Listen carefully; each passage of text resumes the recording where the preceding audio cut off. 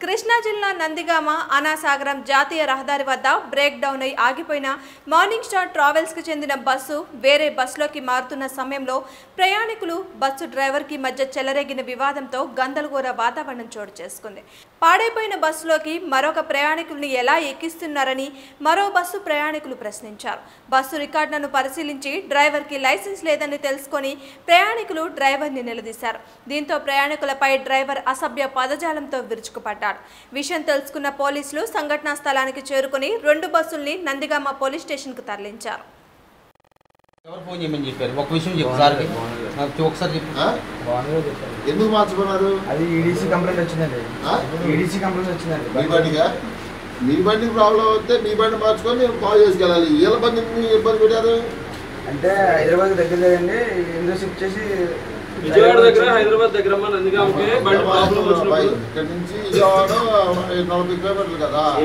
మరి రాజమండ్రి కదా? ఈ కస్టమర్ మొత్తం రాజమండ్రి. ఎనిమిది వందల తొంభై రూపాయలు కట్టాలి. ఎనిమిది వందల రూపాయలు తొమ్మిది రూపాయలు ఎక్కువ. మరి విజయవాడ చేయడం తప్పు కదా మరి మీరు? అది నాన్ ఏసీకి అయితే ఆరు వందలు సార్.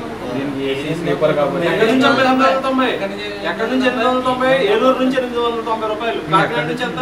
కాకినాడ నుంచి తొమ్మిది వందలు అండి ఆ? రాజమండ్రి నుంచి పన్నెండు వందల తొంభై రూపాయలు డబ్బులు కట్టయింది మా అకౌంట్లో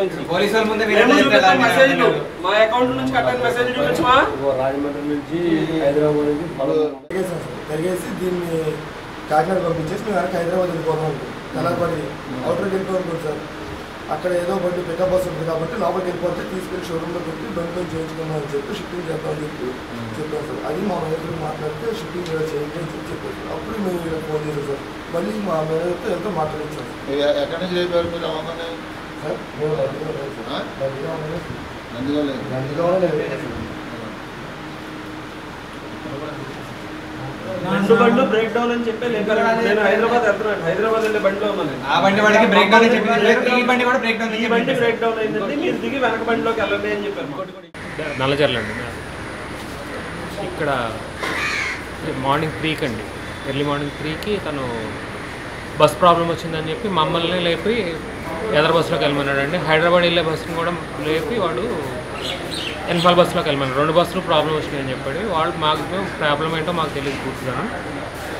మేము బస్సు ఆల్రెడీ మొత్తం ప్యాసింజర్ అందరూ కూడా మారిపోయారండి. ఆ బస్సు నుంచి ఈ బస్సులో ఈ బస్సు నుంచి ఆ బస్సులో మారారు. ఇప్పుడు ఇక్కడ మాట్లాడే ఆయన ఆయన హైదరాబాద్ వెళ్ళే బస్సు ఆయన. ఆయన డ్రైవింగ్ లైసెన్స్ అనేది పేపర్స్ అన్నీ చెక్ చేయాలి మేము ఎవరో మాట్లాడలేదండి. తను ఒక ఆయన మాట్లాడాడు. పేపర్స్ అన్నీ చెక్ చేశాడు. డ్రైవింగ్ లైసెన్స్ అడిగితే నువ్వు ఎవడపై డ్రైవింగ్ లైసెన్స్ అడగడానికి? అని చెప్పి ఇతను రెక్లెస్గా మాట్లాడాడు డ్రైవర్. దాంతో అందరూ రెస్పాండ్ అయ్యి అప్పుడు వీళ్ళు మేనేజర్తో మాట్లాడితే తను నీ ఇష్టం నీ ఇష్టం వచ్చింది చేసుకోండి నేను చేసేది ఏమీ లేదని చెప్పి ఫోన్ పెట్టేశాడు. ఏ ట్రావెల్ బస్ అండి? ఎక్కడి నుంచి ఎక్కడికి వెళ్తున్నారు మీరు? మార్నింగ్ ట్రావెల్స్ అండి. హైదరాబాద్ నుంచి నల్లజర్లు వెళ్తున్నాం. ఎక్కడ ఆగారు ఇల్లు ఎక్కడ? ఇంచుమించు నందిగామ అండి. నందిగామ అవుట్స్కట్స్లో. ఒక బస్సు ప్రాబ్లం వచ్చింది ఇంకో బస్సు ఆపారా. దీన్ని మీ మీద దురుసుగా ప్రవర్తించారు. అవునండి. పోలీస్ స్టేషన్ కంప్లైంట్ ఇచ్చారు అవును ఆల్రెడీ కంప్లైంట్ రాస్తున్నారండి ఇంకా ఫైల్ అవ్వలేదు. హైదరాబాదు మార్నింగ్ స్టార్ స్లీపర్ బస్సులో ట్రావెల్ చేస్తున్నప్పుడు ఈరోజు సుమారు తెల్లవారుజామున మూడు గంటల సమయంలో బస్సు ఆపి ఆ సీట్లలో పడుకున్న మమ్మల్ని ప్రత్యేకంగా నిద్రలేపి డ్రైవరు క్లీనరు ఏం చెప్పారంటే మాకు బాబు ఈ బస్సు బ్రేక్ డౌన్ అయింది కాబట్టి మీరు బస్సు ఎక్స్చేంజ్ కామన్నారు. సరే అని మేము బస్సు ఎక్స్చేంజ్ కోసం వాళ్ళదే మార్నింగ్ స్టార్ వేరే బస్సు కూడా అరేంజ్ చేశారు ఆ సమయంలో. మేము మా లగేజీలు ఈ చెప్పులన్నీ చదువుకొని ఆడవాళ్ళతోటి చిన్నపిల్లలతోటి ఆ హైవే రోడ్డు మీద ఆ తెల్లవారుజామున మూడు గంటలకి ఆ నిద్ర మత్తులో దిగెళ్తే ఆ బస్సులో కూడా సేమ్ ముప్పై ఏడు మంది ప్యాసింజర్లు అదే విధంగా ఈ బస్సుకి షిఫ్ట్ అవుతున్నారు ఇదెందుకు అటు నుంచి ఇటు ఇటు నుంచి షిఫ్ట్ అవుతున్నారని మేము అడుగుతున్న సమయంలో ఆ డ్రైవర్ గారు ఏంది దానికి సంబంధించిన విచారణ జరుగుతున్నప్పుడు మా మీద ఏకవచనంతో మాట్లాడి మా యొక్క వెనక ఉన్న రిలేషన్ వాళ్ళని తిట్టుకుంటూ ఆ వేరే విధంగా అసభ్యంగా ప్రవర్తించి మమ్మల్ని భయభ్రాంతులకు గురి చేస్తే మేము ఏపీలో ఉన్నాం కాబట్టి వన్ డబల్ జీరోకి ఫోన్ చేస్తే చంద్రరావు గారు అనే కానిస్టేబుల్ కరెక్ట్గా ఐదు నిమిషాల్లో స్పాట్కి వచ్చి ఆయన రాములనే పై పోలీసులు వచ్చారన్న దాంతో కొంచెం మాకు సమాధానం చెప్పడానికి అంగీకరించారు. కానీ వాస్తవంగా ఏం జరిగిందో తెలియదు. అది ఎందుకు వాళ్ళు ప్రయాణికులు షిఫ్ట్ చేస్తూ ఈ విధంగా ప్రతిరోజు మహిళల్ని చిన్నపిల్లల్ని దేనికి ఈ విధంగా అసౌకర్యానికి గురి చేస్తున్నారని కూడా తెలియదు కాబట్టి ఆ విషయాన్ని జరిగితే అక్కడ చాలా దారుణంగా మాట్లాడారు. ఇంకో విషయం ఏంటంటే పోలీస్ స్టేషన్కి పోతారో ఇంకెక్కడ పోతారో మీ ఇష్టం వచ్చింది చేసుకోండి అని చెప్పేసి మహిళా ప్యాసింజర్లతో మేనేజర్తో కూడా మాట్లాడితే వాళ్ళు కూడా ఇదే విధంగా ప్రవర్తిస్తే ఏం చేయాలో తెలియక ఆ రెండు బస్సులు తీసుకొని పోలీస్ స్టేషన్కి ఇచ్చాము సార్ దగ్గర కూర్చొని మాకు జరిగింది మొత్తం వివరిస్తున్నాం. కంప్లైంట్ ఇచ్చారా? అని కంప్లైంట్ ఇచ్చాం సార్. అది జరిగిన యథార్థ ఘటన.